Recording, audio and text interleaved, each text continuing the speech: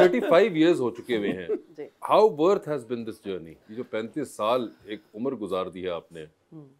और लगता नहीं है वैसे पहली बात तो ये कि 35 साल से आप कर रही अच्छा हैं। थैंक्स फॉर द कॉम्प्लीमेंट मगर 35 साल से कर रही हैं और कितनी ख्वाहिशें पूरी हुई और कितने ख्वाब अधूरे रह गए?